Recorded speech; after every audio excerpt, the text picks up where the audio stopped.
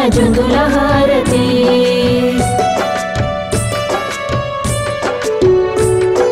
సాయి ఆత్మను నీలో నింపుకుంటివి. తనివి తీర సాయిని దర్శింపజేస్తివి. కష్టాలను దుఃఖాలను తరిమి కొడితివి.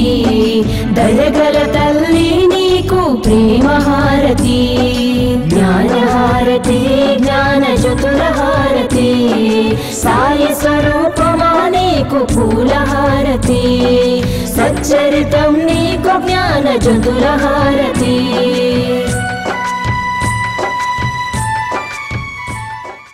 మనం నిత్య జీవితంలో కూడా మనం ఏదైనా పని చేస్తున్నాము అని అంటే ఖచ్చితంగా ఆ పని మనము దేని గురించి చేస్తున్నాం? ఎందుకు చేస్తున్నాం? చేస్తే దానివల్ల ఉపయోగం ఏమిటి? ఇవన్నింటినీ తెలుసుకునే ఏ పనినైనా మనం ప్రారంభిస్తాం కదా? అందరి ముందు మన భక్తిని ప్రదర్శించుకోవడానికి నామం చెప్తే సరిపోతుందా? నామం వల్ల ఉపయోగం ఏమిటి? నామం కాలుని యొక్క మెడలు వంచుతుంది. నామం పాపాలనేటువంటి పర్వతాలను పడగొడుతుంది. ఇది నేను చెప్పినటువంటిది కాదు.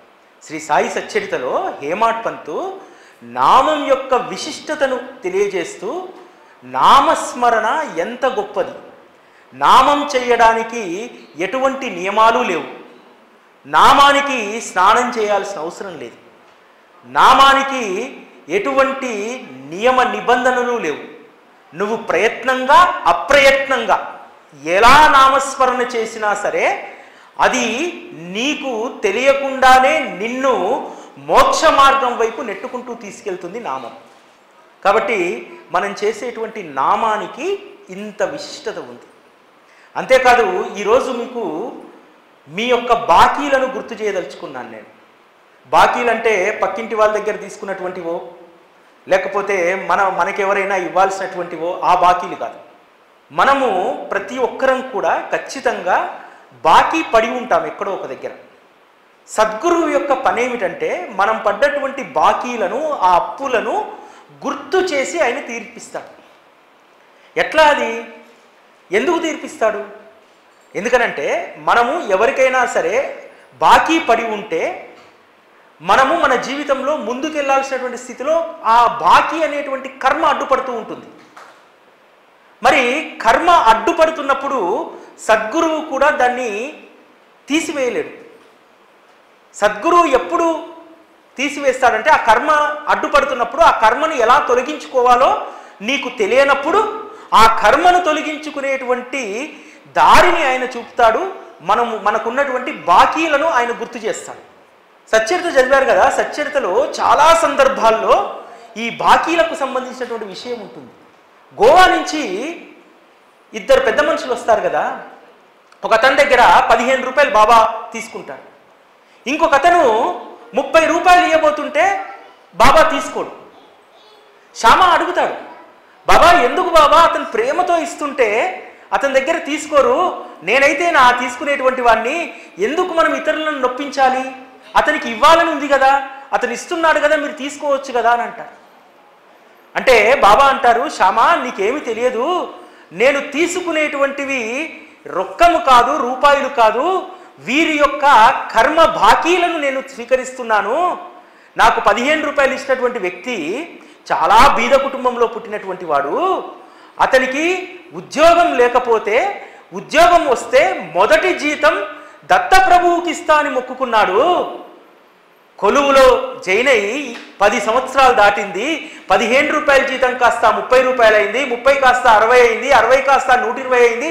నూట ఇరవై కాస్త రెండు వందలు అయింది అయినా సరే దత్తప్రభు యొక్క బాకీని తీర్చలేదు. అందుకనే ఇతను బాకీ ఇక్కడ తీర్చి దత్తప్రభువుకు అతను అతను ఉన్నటువంటి పదిహేను రూపాయల బాకీని తీర్చి అతని యొక్క కర్మపాశాన్ని నేను తొలగించాను అని అంటాడు. బాకీ అంటే ఇది. మనకు ఇతరులు డబ్బులు ఇవ్వాలా వాళ్ళు మనకు డబ్బులు ఇవ్వాలా ఇది కాదు. వీటన్నింటికంటే ప్రధానమైనటువంటిది మనం మన జీవితం సాఫీగా ముందుకెళ్ళడానికి భగవంతుడికి ఉన్నటువంటి బాకీలను మనం చెల్లించినప్పుడు ఖచ్చితంగా మన కర్మలు అనేటువంటి తొలగిపోతూ ఉంటాయి. అంతే కదా? ఎప్పుడు మొక్కుకున్నాడు? పదిహేను మొదటి నెల జీతం ఇస్తా అన్నాడు. భగవంతుడు ఎంత దయామయుడో ఇక్కడ అర్థం చేసుకోండి. మరి వచ్చాడు పదిహేను రూపాయల జీతం కాస్త రెండు వందలైంది. అయింది బాబా రెండు వందలు అడగలే. ఏ మొక్క అయితే మొక్కుకున్నాడో పదిహేను రూపాయలు దానిని మాత్రమే అడిగాడు కదా. ఆ- విధంగా ముప్పై రూపాయలు ఇచ్చేటువంటి వారిని ఎందుకు కాదన్నాడు? ముప్పై రూపాయలు ఇచ్చేటువంటి అతను తన ఇంట్లో పనిచేసేటువంటి వంట బ్రాహ్మణుడు దాదాపు పది పదిహేను సంవత్సరాలుగా పనిచేస్తున్నటువంటి వాడికి దుర్బుద్ధి పుట్టి ఆ ఇంట్లో పెట్టెకు కన్నం వేసి డబ్బును అంతా దోచుకుపోతాడు. దోచుకుపోయిన తర్వాత అతను బాధతో ఉంటే ఒక పకీరు కనిపించి నువ్వు షిరిడి సాయిబాబాకు మొక్కుకో నీ సొమ్ము తిరిగి వస్తుంది అప్పటి వరకు నీకు ఇష్టమైనటువంటి ఒక ఆహార పదార్థాన్ని వదిలేయి అని చెప్పితే నియమంగా నిష్టగా వదిలివేశాడు. తర్వాత ఆ బ్రాహ్మణుడి యొక్క బుద్ధి చక్కగై ఆ సొమ్మంతా కూడా తెచ్చిస్తాడు. ఇక్కడ ఏ మొక్కు తను మొక్కుకోలేదు.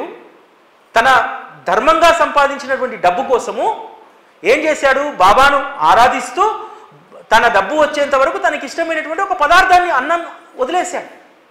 తద్వారా తన డబ్బు తనకు లభించింది. కాబట్టి ఇక్కడ భగవంతునికి బాకీ లేడు తను. భగవంతుడికి ఉన్నటువంటి బాకీ ఏమిటంటే తన డబ్బు దొరికిన తర్వాత ఎప్పుడెప్పుడు షిరిడి రావాలి వచ్చి బాబాను దర్శించుకోవాలి బాబా కృతజ్ఞత తెలియజేసుకోవాలనేటువంటిది మాత్రమే అతనికి ఉన్నటువంటి సంకల్పం. కాబట్టి అతన్ని షిరిడి దాకా తీసుకొచ్చాడు. స్టీమర్లో టికెట్ దొరకకపోతే ఒక స్టీమర్లో ఉన్నటువంటి ఒక నావికుడు పైకి పిలిచి అతన్ని తన పక్కన సీట్లో కూర్చోబెట్టుకొని ఇక్కడ షిరిడి దాకా తీసుకొచ్చి ఇక్కడ బాబా దర్శనం కలిగేలాగా చేశాడు. అంటే కేవలం రెండవ వ్యక్తి సంకల్పం కృతజ్ఞత తెలియజేసుకోవడం బాబాను దర్శించుకోవడం. మొదటి వ్యక్తి బాకీ ఉద్యోగం వచ్చినప్పుడు ఎప్పుడో పదేళ్ళ క్రితం మొక్కుకున్నటువంటి బాకీని బాబా తీసుకున్నారు. ఈ విధంగా బాబా బాకీలను గుర్తు చేసి తన భక్తుడి యొక్క కర్మలను తొలగించి వేస్తూ ఉంటాడు మనం చాలామంది అనుకుంటాం కదా యూ కెన్ రిమైండ్ మీరందరూ కూడా రిమైండ్ చేసుకోండి ఈ సత్సంగం ద్వారా. చాలామంది మనం అనుకుంటాం ఇంట్లో బాగుండట్లేదు లేకపోతే తలపెట్టినటువంటి పని ముందుకు పోవట్లేదు. ఏమిటి కారణం?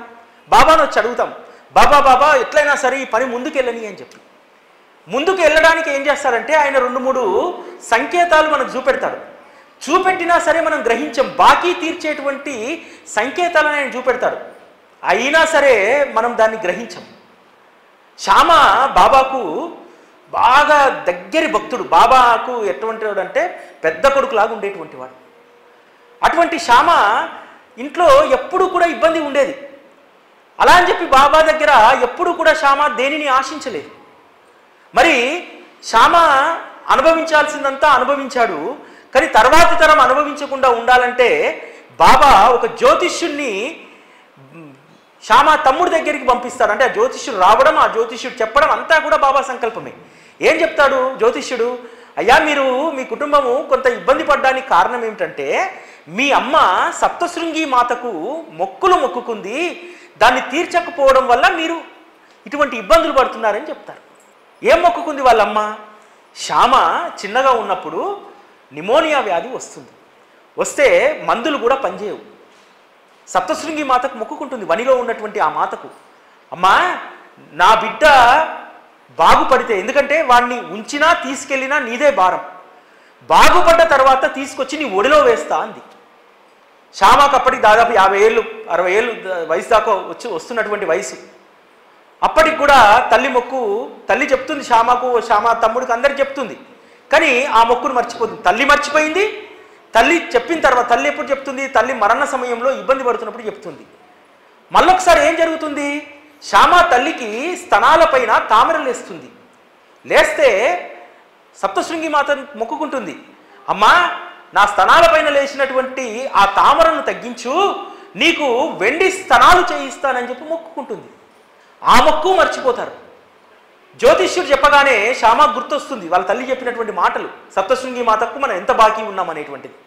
వెంటనే కంసాలి దగ్గరికి పోయి రెండు స్థనాలను వెండి స్థనాలను అమ్మవారికి పెట్టడానికి తీసుకొచ్చి నేరుగా మసీదుకి వస్తాడు వచ్చి బాబా బాబా నాకు సద్గురు అయినా సప్తశృంగి అయినా సకలం నీవే ఇగో ఈ మొక్కు నీకు అప్పచెప్పేస్తున్నాను నీకు తీసేసుకో అని అంటాడు బాబా నవ్వుతాడు శ్యామా ఇవి నేనేం చేసుకోను అని అంటాడు.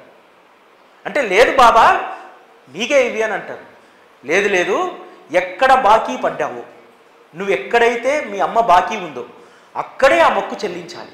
కాబట్టి నువ్వు వనీకి వెళ్ళు వనీకి వెళ్ళి ఆ తల్లికి మొక్కులు అప్పచెప్పు అని అంటాడు ఆ తర్వాత నుంచి శ్యామ కుటుంబం అదేవిధంగా వాళ్ళ తమ్ముడి కుటుంబం కూడా ఎటువంటి కాస్త ఆటుపోట్లు లేకుండా ఒక మంచి సవ్యమైనటువంటి జీవితంలోకి ఆ కుటుంబాలు వస్తాయి. అంటే మనం గుర్తించగలగాలి. మనము రీకనెక్ట్ చేసుకోవాలి. మన బాకీలు ఏమిటి? ఎక్కడున్నాయి మన బాకీలు? మనం ఎలా తీర్చగలుగుతాం? చాలా మొక్కులు మొక్కుతాం. ఎందుకంటే మన యొక్క బలహీనత ఏమిటంటే ఒక్కరిపైన విశ్వాసం ఉండదు. అందుకనే సద్గురువు. సద్గురువు వద్దకు వచ్చినటువంటి వారికి విశ్వాసం ఒకే చోట ఉంటుంది. ఎందుకంటే ఒకే నామం ఒకే రూపం. సద్గురువు దగ్గరికి వచ్చిన తర్వాత వేరే నామము వేరే రూపం మనకు కనిపించదు. ఆ సద్గురువులోనే వెంకటేశాయ నమ శ్రీమాత్రే నమ అన్నీ అక్కడే కనిపిస్తాయి. ఆధ్యాత్మిక మార్గంలో మనం పరిమితి సాధించడానికి సాధించడానికి ప్రధానమైనటువంటి సాధన ఏమిటంటే ఏకనామము ఏకరూపం పైన ధ్యాస కుదరడం. అలా కుదిరినప్పుడే ఆధ్యాత్మిక మార్గంలో మనం ముందుకెళ్ళగలుగుతాం. ఎందుకంటే నేను చాలా సందర్భాల్లో చెప్తాను. మనం ఏం చేస్తామంటే ఇక్కడ రెండు గజాలు గుంత తవ్వి నీళ్ళు పడకపోతే ఇంకో దగ్గర పోయి గుంత తవ్వుతాం. ఇంకో దగ్గర పోయి గుంత దవ్వుతాం అట్లా పది గజాలు తవ్వుతాం. ఇది సర్వసాధారణం. ఫస్ట్ శివాలయానికి వెళ్తాం పొద్దున్నే సోమవారం పూట. వెళ్ళి అక్కడ రెండు గజాలు దవ్వుతాం నీళ్ళు పడవు.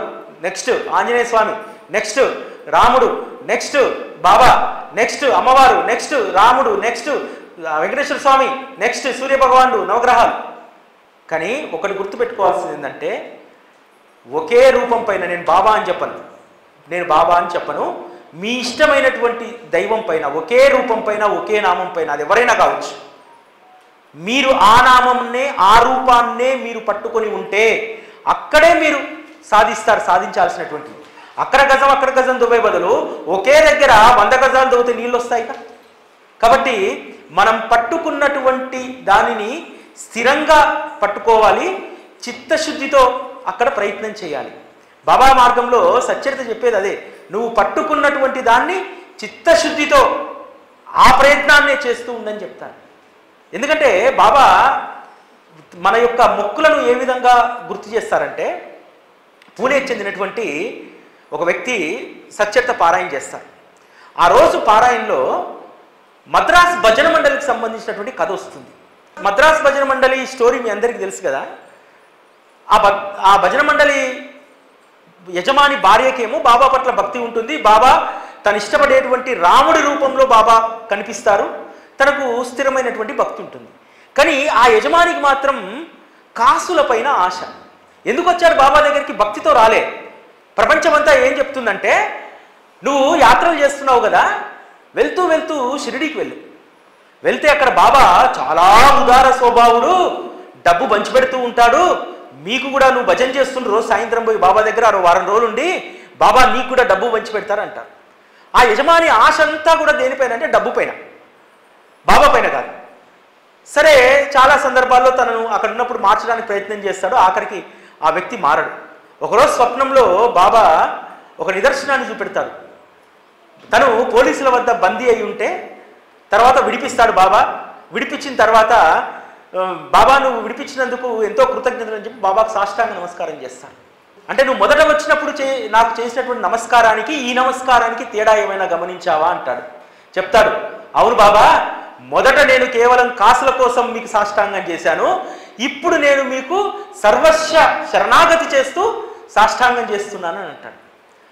మరి ఎందుకు నా పట్ల నీకు భేదభావం అని అంటే బాబా నా మనసులో ఉంది ఓపెన్గా చెప్పేస్తా. మీరు చూడ్డానికి పకీర్ లాగుంటారు మీరు ముస్లింలు. నాకు మీ మీద ద్వేషము. మీరు చెడపోవడమే కాకుండా హిందువులందరినీ కూడా తీసుకొచ్చి మీ దగ్గర హారతులు పిచ్చి దుని వెలిగించి అది చేసి ఇది చేసి హిందువులను కూడా మీరు భ్రష్టు పట్టిస్తున్నారు అనేటువంటి కోపం నాకుంది బాబా. అందుకనే నేను ఆ విధంగా ప్రవర్తించాను అని అంటాను అప్పుడు బాబా అంటాడు అరే నాయనా నీకు ముస్లింలన్నా ముస్లిం దేవతలన్నా నీకు పడదా? వాటి పట్ల నీకు గౌరవం లేదా? మరి నీ ఇంట్లో పంజా ఎందుకు పెట్టుకున్నావు? ప్రతి మొహరానికి ఆ పంజాకు పూజ చేస్తారు కదా. ఆ పంజాను పీర్ మహమ్మద్ అనేటువంటి వ్యక్తికి సూచికగా మీరు దాన్ని ఊరేగింపు చేస్తారు కదా దానికి కావాల్సినటువంటి మర్యాదలన్నీ చేస్తారు కదా.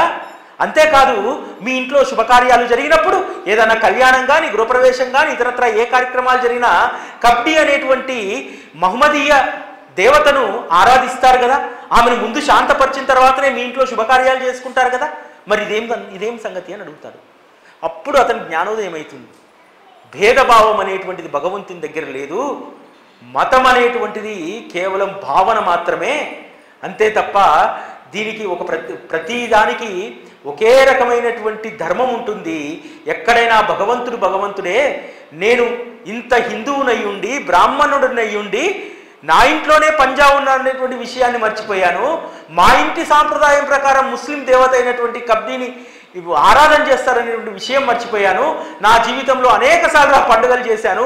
అయినా సరే నేను ఎంత మూర్ఖంగా ఆలోచించానని చెప్పి పశ్చాత్తాపడతాడు. అయితే ఈ కథ అంతా పూణేకి సంబంధించిన భక్తుడు చదువుతాడు. ఆ రోజు రాత్రి స్వప్నంలో తనకు ఒక నిలువు నిలువు శిల ఉండి ఒక చంద్రాకారంలో ఉన్నటువంటి ఒక ఆకారం కనిపిస్తూ ఉంటుంది. అట్లా నాలుగైదు రోజులు కనిపిస్తుంది. కనిపించిన తర్వాత తను చిన్నప్పుడు ఎప్పుడో తన గ్రామంలో మొహరం పండగకు అటువంటి పీర్ను తను చూస్తాడు. తనకు అర్థం కాదు. నాందేడ్కు పోయినప్పుడు నాందేడ్లో ఉన్నటువంటి అక్కడ దర్గాలో ఉన్నటువంటి హాజీని అడుగుతారు. అయ్యా నాకు ఇట్లా స్వప్నం వస్తుంది. నేను ఇట్లా బాబాకు సంబంధించిన చరిత్రలో చదివాను. అప్పటి నుంచి వస్తుంది అని అంటే ఒకసారి మీ పూర్వీకులను అడుగు.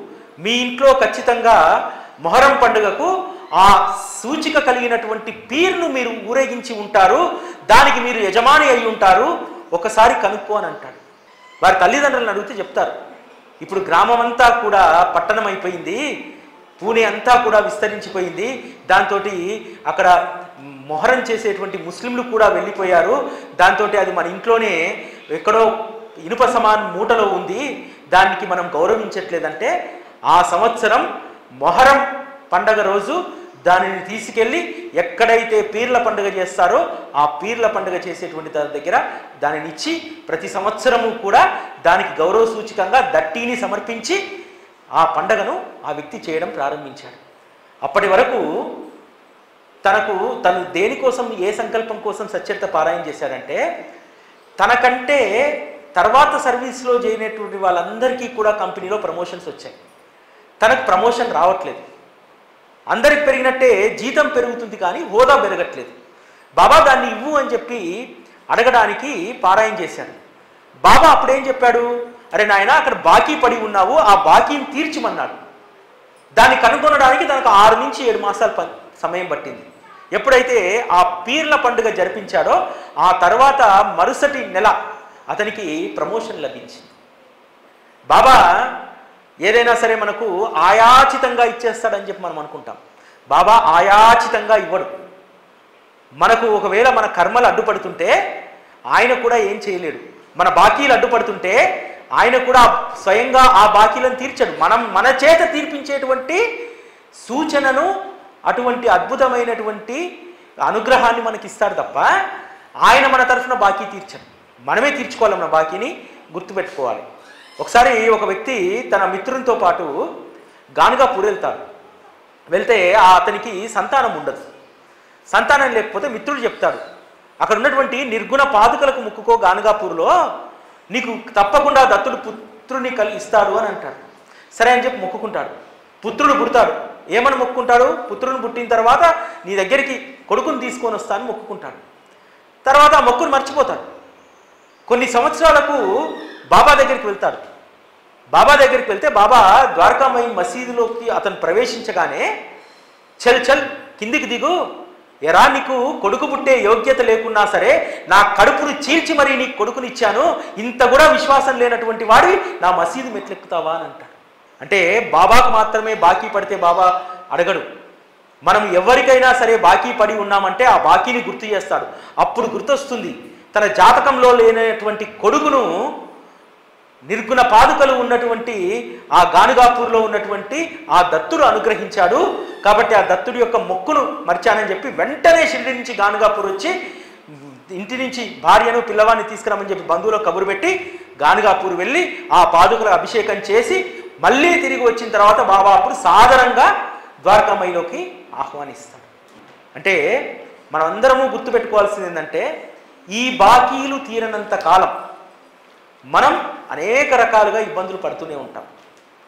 బాకీలు తీరాయి అనుకోండి మన యొక్క మార్గం చాలా సుగమంగా ఉంటుంది. చాలా ముందుకు మనం వెళ్ళగలుగుతాం. సద్గురువు ఇచ్చేటువంటి అనుగ్రహం ఇదే. అంతేకాదు వీటి పట్ల ఎలా అవగాహన కలుగుతుంది మనకు? వీటి పట్ల అవగాహన కలగాలంటే కేవలం బాబా ఫోటోకు దండ వేసి హారతిచ్చి నైవేద్యం సమర్పిస్తే ఈ అనుభవాలు కలగవు. ఎప్పుడైతే సాయి కథను నిత్యం మననం చేస్తాము.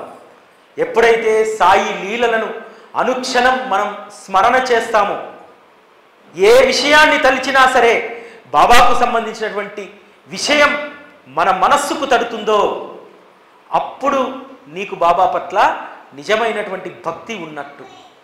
బాబా కనిపిస్తే లేకపోతే బాబా చిత్రపటం కనిపిస్తే బాబా మందిరం కనిపిస్తేనో అప్పటికప్పుడు చేతులు జోడించి నమస్కారం.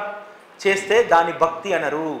ఎప్పుడూ కూడా నిత్యం ట్వంటీ ఫోర్ బై సెవెన్ నీ మనస్సు బాబా గురించి తపిస్తుందో అదే అనన్యమైనటువంటి భక్తి.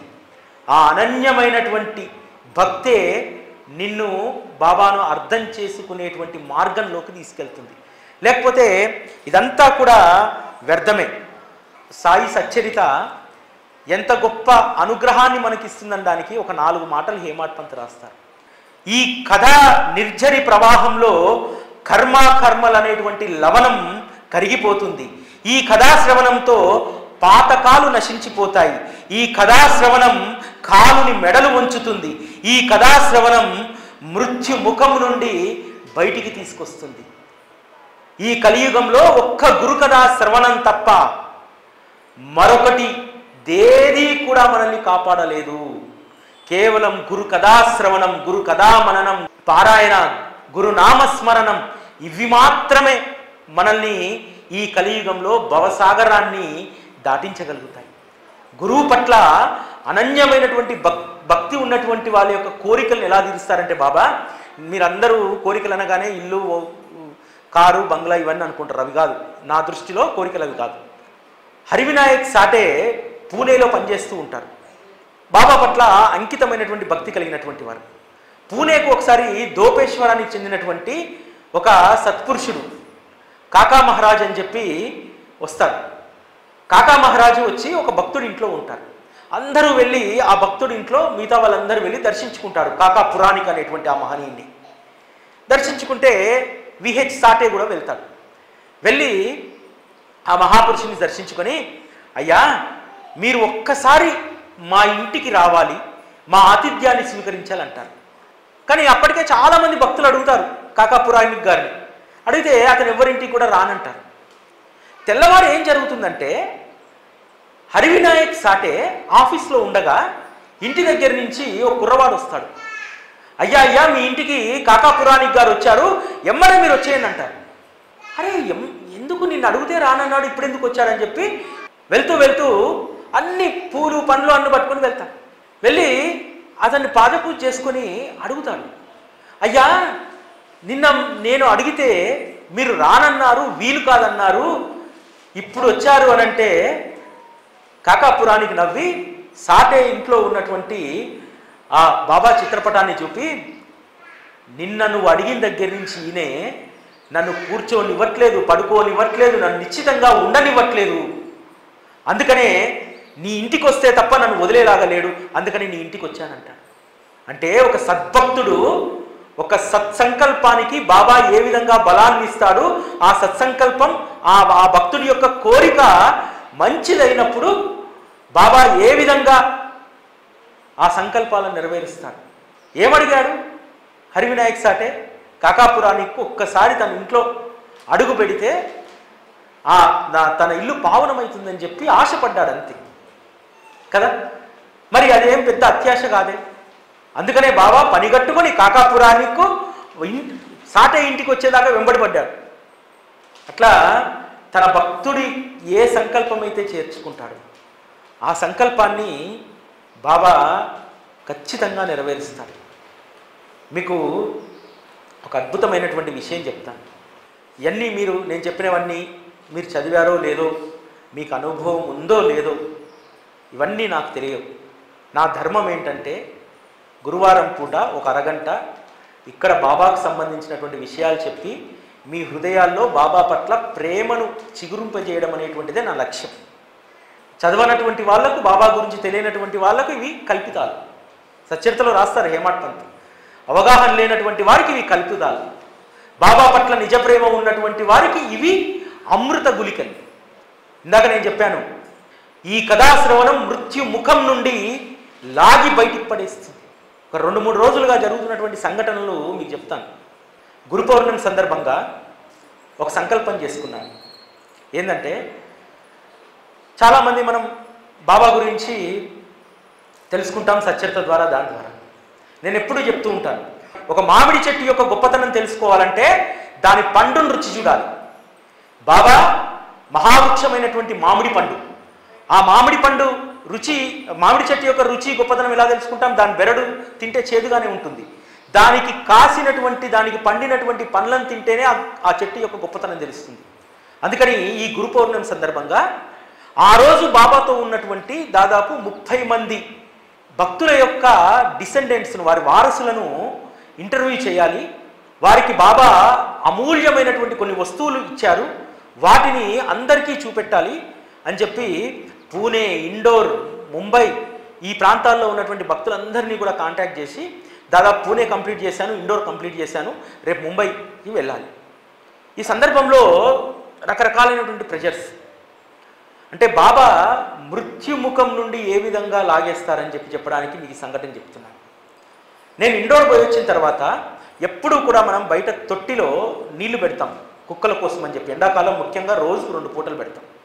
నా ముందల్నే పుట్టి పెరిగిన చిన్న డాగ్ దాదాపు నెల రోజులు దాని వయసు. నేను ఇండోర్ వెళ్తున్నప్పుడు నేను కళ్ళతో బాగా నా కళ్ళల్లో నిలిచిపోయిన దృశ్యం. ఆ తొట్టిలో నీళ్ళు చాలా తేటగా ఉన్నాయి. ఆ నీటి నది ఉంది. తాగుతూ తాగుతూ చూస్తూ ఉంది. నేను వెళ్తూ ఉంటే. ఎందుకంటే అవి పుట్టినప్పటి నుంచి కూడా ఏదో ఒక పదార్థాన్ని మనం పెడుతున్నాం. సడన్గా ఇండోర్ నుంచి వచ్చిన తెల్లారి చూసేసరికి అది ఆ తొట్టి పక్కనే విగత జీవిలాగా పడి ఉంది అరే పడుకుందేమో అని చెప్పి అప్పుడప్పుడు దాన్ని కాలుతో ఇలా అంటే ఎగిరి వెళ్ళిపోతుంది అనమాట వెళ్ళి చూశాను. చనిపోయింది. అర్థం కాలే ఒక రోజంతా అక్కడే ఉంది. నిన్న రాత్రి బాబాకు ఎప్పుడు కూడా ద్వారకామయ్య బాబాకు రాత్రే శారీ మారుస్తాను నేను. రాత్రి శారీ మార్చా. మార్చి ఇంటికి వెళ్ళిపోయాను ఉదయాన్నే కార్తీక్ ఫోన్ చేశాడు. అర్జెంటుగా గుడికి వచ్చాను వచ్చాడు. వచ్చేసరికి బాబా సీలింగ్ పైన ఉన్నటువంటి ఆ ఫ్లవర్ ఊడి కింద పడిపోయింది డిజైన్. ఎప్పుడు సీసీ కెమెరా ఫుటేజ్ చూస్తే సరిగ్గా నేను బాబా శారీ కట్టి ఇంటికి వెళ్ళి పదిన్నర తర్వాత వెళ్ళిపోయిన తర్వాత అది కూలిపోయింది. అట్లని చెప్పి ఆయన కూడా ఏమీ డ్యామేజ్ చేసుకోలేదు. అది పడితే కేవలం దీపం యొక్క గాజు గ్లాసు మాత్రమే పగిలిపోయింది. అంటే అప్పుడు నేను పొద్దున్నుంచి అనాలిసిస్ చేసుకుంటున్నాను. నాకు గనుక మృత్యు ఉండి ఉంటే నన్ను దాని నుంచి లాగడానికి ఆయన ఎన్ని ప్రయత్నాలు చేసుకున్నాడు. ఒక ప్రాణాన్ని కాపాడడానికి ఇక్కడ తిని పెరిగినటువంటి ఒక నెల కుక్క చనిపోయే ఆస్కారమే లేదు. ఇంపాసిబుల్ పొట్ట ఊపి చనిపోయింది. అసలు ఆ ఫ్లవర్ చేసినటువంటి అతనికి వీడియో పెడితే ఇట్ ఈజ్ ఇంపాసిబుల్ సార్ అసలు అని అన్నాడు. అంటే ఒక భక్తుడి యొక్క రక్షణ. దీనివల్ల బాబా ఏదో అపాయాన్ని తప్పించాడని చెప్పి మురిసిపోవడానికి లేదు. దాని పాఠం ఏమిటంటే నువ్వు ఇంకా బాధ్యతగా ఉండాలి. నువ్వు ఇంకా నిబద్ధతను పెంచుకోవాలి. నువ్వు ఇంకా పరిణితి చెందాలి. నిన్ను ఎందుకు ఉంచానో గుర్తు చేసుకో అని చెప్పి చెప్పడానికి ఆ పాఠం నేర్చుకోమని చెప్తున్నాడు బాబా. మనం అనుకుంటాం బండి మీద పోతూ పడిపోతే అబ్బాబ్బాబ్బా వెనుకని చాలా సురక్షితంగా బయటపడ్డాం అటు పడి ఉంటే లారీ తలమించేలు పోయేదంటే పడి పోయేదేమో. దాని మేము బయటపడ్డామని చెప్పి గొప్పగా చెప్పుకోవడం ఏదో బాబా లీల బాబా బయటపడేశారని కాదు. ఆలోచించండి నిన్ను ఆ ప్రమాదం నుంచి తప్పించినందుకు నీకు ఏ బాధ్యతను బాబా ఇచ్చాడు? నిన్ను ఎలా ఉండమంటున్నాడు ఇంకా? నువ్వు ఎలా నీలో ఉన్నటువంటి వాటిని ఏ విధంగా మార్పు చేసుకోవాలి? నీకు ఒక కొత్త జీవితాన్ని ఇచ్చాడు పునర్జన్మనిచ్చాడు ఓ ప్రమాదం నుంచి. అందుకు నువ్వు ఇంకా ఎంత బాధ్యతగా ఉండాలి? అనేటువంటి దాన్ని మనం గుర్తుపెట్టుకోవాలి. బాబా మనల్ని కాపాడేశారు అనుకుంటే కాదు. మనల్ని ఇంకా ఎంత బాధ్యతగా ఉండాలనేటువంటి దాన్ని ఆ సంఘటన ద్వారా గుర్తు చేశారనేటువంటి దాన్ని మనం అందరం కూడా గుర్తుపెట్టుకోవాలి. పాఠాలు నేర్చుకోవాలి. సద్గురువు యొక్క కర్తవ్యం ఏమిటంటే మనకు జీవితంలో ఎప్పటికప్పుడు పాఠాలు నేర్పిస్తూ ఉంటాడు. ఒక ఎదురు దెబ్బ తగిలిందంటే కుంగిపోతూ ఉంటాం. ఆ ఎదురు దెబ్బ నుంచే అనేక పాఠాలు నేర్చుకోవాలి. బాబా నిక్కచ్చిగా ఉండేటువంటి వారు. ఎంత నిక్కచ్చిగా అంటే లేదంటే లేదంతే. బజాజీ పాటిలు ఎంతో సేవ చేస్తాడు బాబాకు. తండ్రి మరణానికి దగ్గరగా ఉంటే ద్వారకామైకి వచ్చి దీనంగా బాబాని అడుగుతాడు. బాబా ఊది ఇయ్యండి బాబా నా మా నాయన బతుకుతాడు అంటే ఊది ఇవ్వడానికి దేవుడు అనుమతి లేదురా ఎల్లు అని అంటాడు. వెళ్తాడు. వెళ్ళి తండ్రి మంచం పక్కన కూర్చుంటే అర్ధరాత్రి తండ్రి చివరి శ్వాస వదిలేస్తాడు. నిక్కచ్చితనం. చెప్తాడు నీ తండ్రిని కాపాడలేకపోయానని చెప్పి బాధపడుతున్నావా? అరే అప్ప మంచి జన్మలోకి వెళ్ళాడురా. అప్ మీ అప్ప సంతోషంగా ఉంటే నువ్వు సంతోషంగా ఉండవా? మంచి జన్మలోకి వెళ్ళాడు. వెళ్ళాడని చెప్పి బాధపడకు. అని చెప్పి చెప్తారు. ఒకసారి క్షయవ్యాధి ఉన్నటువంటి కొడుకుని తీసుకొని అతని భార్య తల్లి ఇద్దరు వస్తారు. వచ్చి బాబాని అడుగుతారు ఊది అని చెప్పి.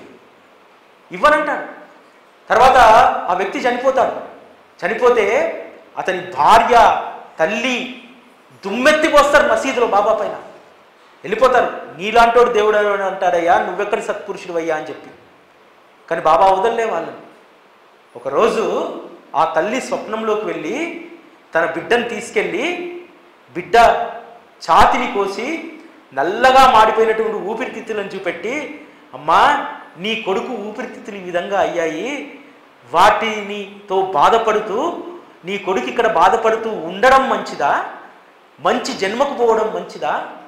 అని అడుగుతాను అప్పుడు తల్లి రియలైజ్ అవుతుంది. రియలైజ్ అయ్యి మళ్ళీ షిరిడీకి వచ్చి బాబా పాదాల మీద పడి బాబా నన్ను క్షమించు అని చెప్పి అడుగుతుంది. పన్నెండు సంవత్సరాల వయసున్నటువంటి వత్సల కాకాసాహెబ్ దీక్షిత్ గారాల బిడ్డ సర్వస్వాన్ని వదిలేసి షిర్డీలో దీక్షిత్ వాడ కట్టుకొని షిర్డీలో ఉంటున్నటువంటి పెద్ద వకీల్ ముంబైలో అకస్మాత్తుగా వత్సలి చనిపోతుంది. ఏమాత్రము బాబాను నిందించలేదు ఏమాత్రము శోకించలేదు. నా కూతురు మరొక మంచి జన్మకు వెళ్ళిందని చెప్పి నిర్ణయించుకొని కూతురు యొక్క అన్ని కార్యక్రమాలు ముగిసిన తర్వాత యథావిధిగా ఏకనాథ భాగవత గ్రంథాన్ని సంఖలో పెట్టుకుని బాబా దగ్గరికి వెళ్తాను వెళ్ళగానే బాబా ఒక పేజీ తీసి ఇస్తాడు ఇస్తే దాన్ని చదువుకుంటాడు. వాలి భార్య రాముణ్ణి అడుగుతుంది నా భర్తని ఇలా చంపావు? నా భర్త ఇప్పుడు లేడు అని అంటే రాముడు చెప్తాడు అమ్మా కేవలం దేహానికి పరిమితమైనటువంటి వాడు వాలి అనుకుంటున్నావు కేవలం దేహంలో లేడు. వాలి ఇప్పుడు నాలో కలిసిపోయాడు. నువ్వు దేహాన్ని చూసి ఏడుస్తున్నావా? వాలి నాలో కలిసిపోయినందుకు అంటే పరమాత్మలో కలిసిపోయినందుకు దుఃఖిస్తున్నావా? ఆలోచించుకో అని చెప్తాడు. అది చదువుకొని సమాధాన పడతాడు నా కూతురు బాబాలో ఐక్యమైపోయిందని చెప్పి గర్వంగా పొంగిపోతాడు దీక్షిత్. యాక్సెప్టెన్సీ అంగీకారం. మనం చాలా చిన్న చిన్న విషయాలను యాక్సెప్ట్ చేయం అంగీకరించం. కానీ బాబా నేర్పేటువంటి గొప్ప శిక్షణ ఏంటంటే మనకి ఇచ్చేటువంటిది యాక్సెప్టెన్సీ. ఏది జరిగినా దాన్ని అంగీకరించేటువంటి గొప్ప ధైర్యాన్ని బాబా మనకిస్తారు. జీవితంలో ఎంత డబ్బున్నా వేస్ట్ అమ్మా ఎంత పరపతున్నా వేస్ట్ అవి ఒక రాత్రి కూలిపోయేటువంటి అవన్నీ కూడా. కానీ కూలిపోనటువంటిది మన నుంచి వేరుపడినటువంటిది ఒక్క ధైర్యం మాత్రమే. ఆ ధైర్యాన్ని మాత్రమే మీరు ఆభరణంగా ధరించండి అని చెప్పి బాబా చెప్తారు. నీకు ఏడు వారాల నగరున్నా సరే ఎప్పుడు మొగుడికి ఇబ్బంది కలిగినా లేకపోతే కుటుంబానికి ఇబ్బంది కలిగినా అవి కరగాల్సిందే. కరిగిపోవాల్సిందే అవన్నీ. కానీ కరగనటువంటిది ఒకే ఒకటి నీలో దృఢంగా నాటుకున్నటువంటి ధైర్యం అనేటువంటి మహావృక్షం మాత్రమే. అది మాత్రమే శాశ్వతమైందని చెప్పి బాబా చెప్తారు. బాబా కేవలం చక్కెర బిల్లలు ఇచ్చేటువంటి బాబా కేవలం కొడుకులు ఇచ్చేటువంటి బాబా కేవలం మనకు సుఖాలను ఇచ్చేటువంటి విస్ వస్తువులను అనుగ్రహించేటువంటి భగవంతుడు కాదు అనేటువంటి నిర్ణయానికి రావాలి. భగవంతుడు మనకు ఎప్పుడైనా సరే బాబా శాశ్వతంగా మనం జీవితంలో పోరాడడానికి కావలసినటువంటి ఆయుధాలను ఇస్తాడు ఆయన. ఆయన మన తరఫున పోరాటం చేయడు. నువ్వే చేయాలి ఈ పోరాటం. ఈ కలియుగంలో నువ్వు మానవుడిగా పుట్టినందుకు ఖచ్చితంగా కలిమాయతోటి నువ్వే పోరాటం చేయాలి. అందుకు కావాల్సిన ఆయుధాలను అస్త్రశస్త్రాలను నేను ఇస్తా అంటాడు. శ్రీకృష్ణ పరమాత్మ యుద్ధం చేయలేదే? అర్జునుడే యుద్ధం చేశారు కదా. శ్రీకృష్ణ పరమాత్మ తలుచుకుంటే కౌరవ సైన్యంని సంహరించడం క్షణకాలం పని కదా. అలాగే సద్గురువు కూడా కేవలం మనకు రథసారథిగా ఉంటాడు. ఉండి అతను ఇచ్చినటువంటి ఆయుధాలను ఏ ఏ సమయంలో ఎప్పుడు దేన్ని వినియోగించాలో అని చెప్తారు. అందుకోసం సద్గురువు మనకు కావాలి. అందుకోసం బాబా కావాలి. బాబా పట్ల మనసులో ప్రేమ పెరిగితే ఇవన్నీ కూడా అర్థమవుతాయి. శ్రీ సచ్చిదానంద సద్గురు సాయినాథ్ మహారాజ్ కీ జై.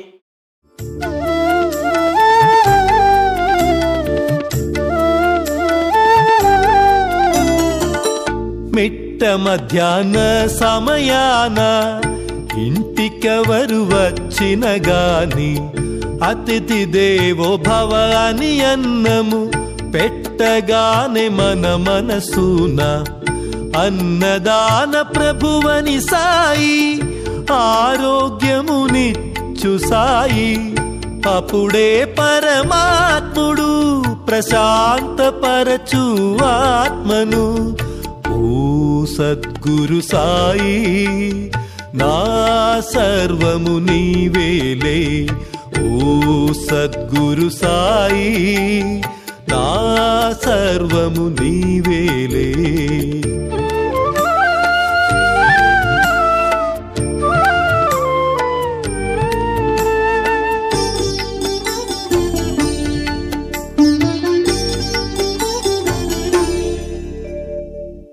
సాయిషుడు స్వయముగ తాను సరుకులన్నీ తెచ్చుకొని వంట కూడా తానే చేస్తూ ఉడికిందో లేదోనని వేడి వేడిడెక్కి సాలో చేయి పెట్టి కలిపి మరి అంతుబట్టని రుచులతో కుమకుమలాడే మసీదు ఓ సద్గురు సాయి.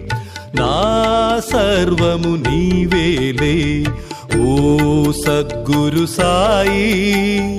నా సర్వము నీవేలే.